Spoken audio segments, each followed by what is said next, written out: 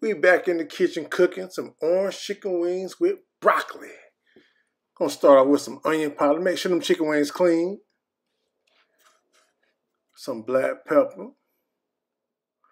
Along with some garlic, scallion, and allspice seasoning if you can find it. If not, use whatever you want. With a little paprika.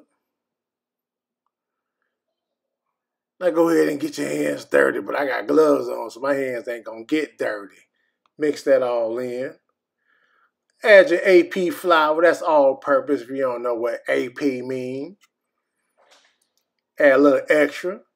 Took the glove off so I can get my hands dirty. Mix that all in. Get that nice and coated. Get that all nice and red and hot. Add them chicken wings. We're going to fry these chicken wings for about 15 minutes because I want them extra crispy. I don't want them soft because we adding sauce to it extra crispy. Once you get that all nice and coated, that's, that's how it's going to look. Because we're cooking this in batches. I'm doing two batches. Now we're going to add the broccoli to that pot, a little bit of water. We don't want the broccoli soft and soggy. We're going to cook this for two minutes. Two minutes only. There you go. Two minutes. Stir that all around. Add them chicken wings. Them chicken wings look good. I wanted to get one, but I said, nah, just wait. Do the video first. Do the video first. Add them chicken wings. Get them all in the pot. Now, I'm not going to show you the sauce, but we use, we using prepared orange chicken sauce. You can use whatever kind of sauce you want. I didn't feel like making my own orange chicken sauce.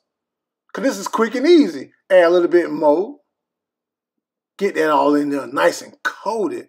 Stir that all around. Stir it all around nice and good.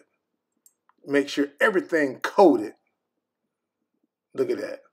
Orange chicken wings with broccoli on a Wednesday.